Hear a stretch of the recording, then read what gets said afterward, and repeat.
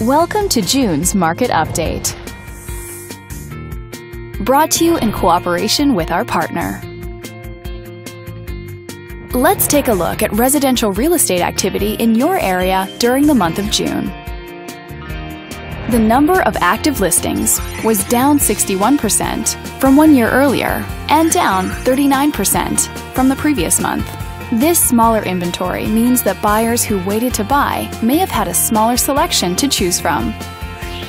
As you can see, the median listing price for the month was just under $260,000. Compared to last year, the average number of days that units spent on the market before being sold was down 7%. This lower number of days may signal a positive trend in the local inventory turnover rate.